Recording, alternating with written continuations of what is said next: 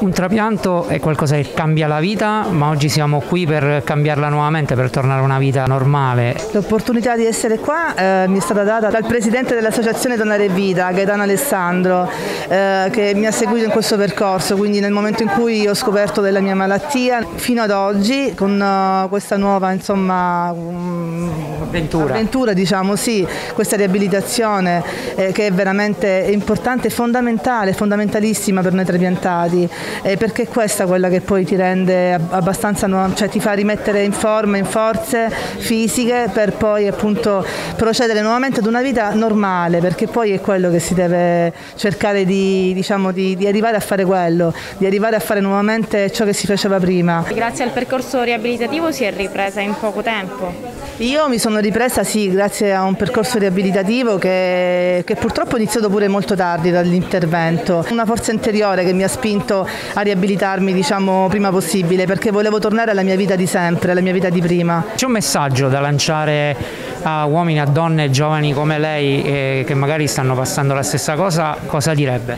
Io dico di non perdere mai le speranze perché veramente è fondamentale eh, credere che, eh, che, che, che, i miracoli avvengono, eh, che i doni comunque eh, esistono, ci sono. Io invece invito che purtroppo qui in Sicilia veramente non, non abbiamo ancora questa sensibilizzazione, invito tutti a, a donare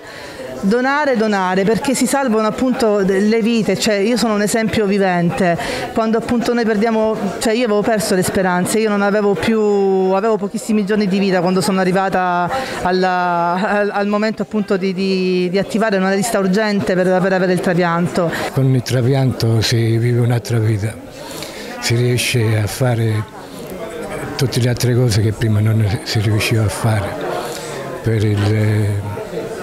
per problemi cardiaci importanti. E quindi grazie a questa persona che io non ho conosciuto, però devo, devo dare la mia vita diciamo,